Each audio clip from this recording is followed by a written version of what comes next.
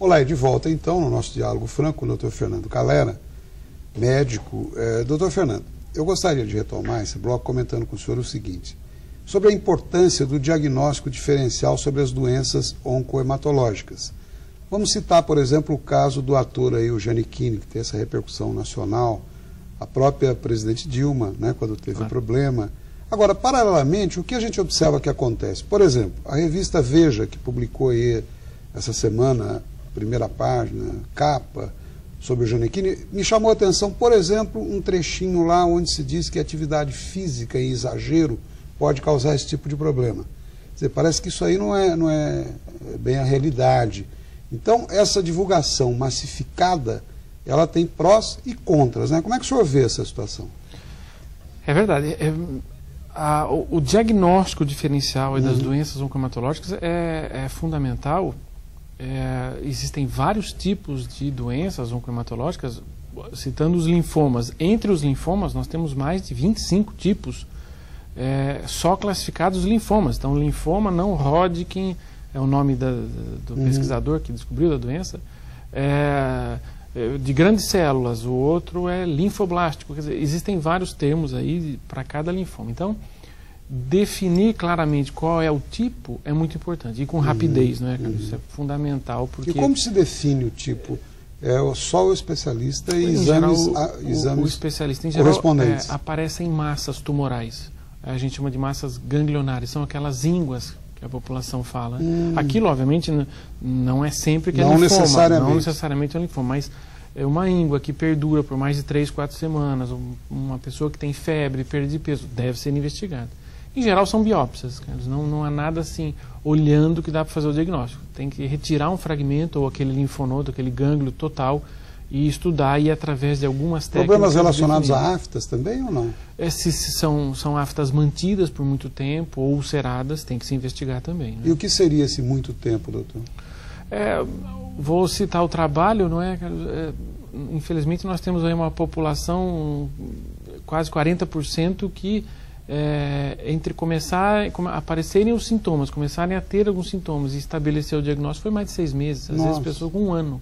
Muito longo. Isso, muito longo, quando uhum. chega a doença está num estádio muito avançado. Uhum. Né? É importante é, algo que foi falado do exercício. Não existe, então, nenhuma. Atividade física. É, atividade física não existe nenhuma associação entre atividade física, nem que seja em excesso por essas pessoas que fazem o fisiculturismo com linfomas. Não há nenhum trabalho que associe isso de maneira clara. Né? Isso já é uma certa, um certo falatro, é, falastronismo é, da, da hum. própria matéria, da imprensa ou de quem fez? Seria isso, mais ou menos? Infelizmente, essas, essas informações têm que ser, ao meu ver, têm que ser muito precisas. E às vezes não são.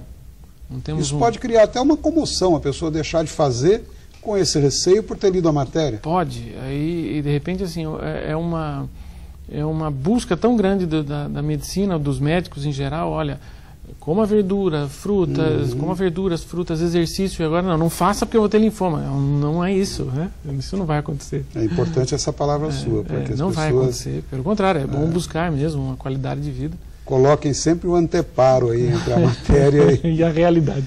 Muito bom. Doutor Fernando, eu queria que o senhor comentasse também sobre a importância do transplante de medula óssea, no caso. Claro. O, os transplantes de medula são ferramentas hoje importantes em várias doenças oncohematológicas e algumas também não hematológicas. Né? Nós temos alguns tipos de transplantes. Temos o transplante chamado autólogo, onde nós vamos usar a célula-mãe, a célula-tronco, que é chamada do próprio paciente. Uhum. Isso nós fazemos aqui no Vale. Nós uhum. também aqui implantamos no isso aqui 12. no Vale, no Pio 12. Desde 2004 nós somos credenciados pelo Ministério da Saúde. Uhum. Temos hoje quase 160 casos transplantados aqui no Vale. Que beleza. Todos é, bem-sucedidos? Todos é, com resultados assim muito bons. Nós acompanhamos também esses pacientes ao longo do tempo e os nossos dados são semelhantes ao que é publicado no mundo todo. Né? Uhum. Existe o transplante halogênico, que é o mais comum, é o entre irmãos, é o mais comum da população falar em função da doação de medula. Uhum. Nós precisamos ter, em geral, um irmão ou irmão ou um irmão ou irmã compatíveis com o paciente para a doação. Né? É chamado halogênico aparentado, ou seja, entre parentes, entre uhum. irmãos. Mas existe o não aparentado, que é aquele paciente que na família, entre os irmãos ou irmãs, não tem doador. Nenhum foi compatível com ele.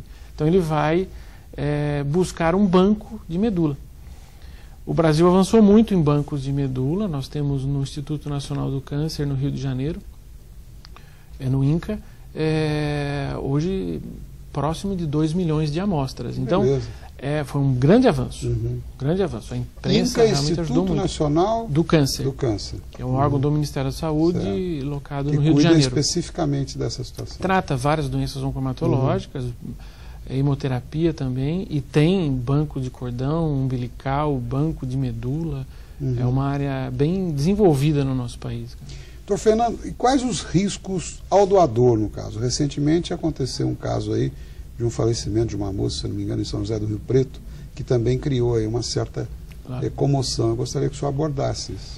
É, normalmente a doação da medula óssea é inócua, ela não, não causa nenhum, nenhum problema. problema para o doador. E o que, que pode ter havido lá? O senhor acompanhou? Ah, acompanhei. Ah, óbvio que existem dois pesos aí, né? Para a família, obviamente, o que eu vou falar não cabe. Né? Uhum. Eu entendo isso, porque para a família é uma perda única. É, mas provavelmente é uma fatalidade. A, a, nós, para acolhermos, nós passamos um, um, um, Fazemos um procedimento que se chama cateriza, cateterização. É um uhum. cateter para poder retirar a célula. Esse cateter é colocado numa veia. Provavelmente ali houve algum acidente que fez com que essa doadora tivesse um sangramento além do habitual e não corrigido a tempo. Ela Mas faleceu. isso é um caso raríssimo, não é? Raríssimo, não há outra notícia de caso no país. Doutor, e quais os agentes causadores dessas doenças? Há como evitá-las? São transmissíveis? Há fatores predisponentes no caso, não? Infelizmente não. As doenças oncomatológicas não têm essa predisposição de alimentos, de hábitos em geral do paciente. Em geral, elas advêm é, de mutações que qualquer um de nós, infelizmente, pode sofrer. Né? Uhum.